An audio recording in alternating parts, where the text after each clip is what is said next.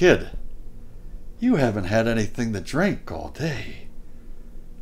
How about if I got you a glass of water and we could sit here together and watch the game?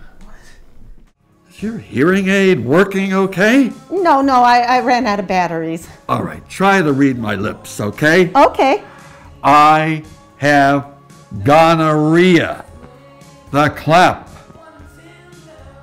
Gonorrhea? Strong and Hamill.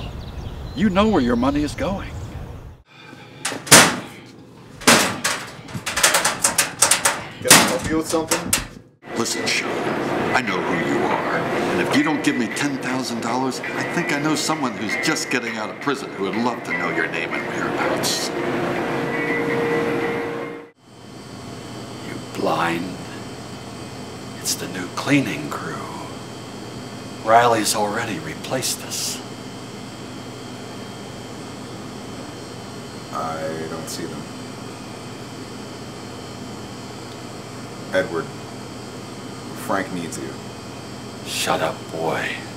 This ends tonight. Did you know her from uh, the home? She was never at the Arbor.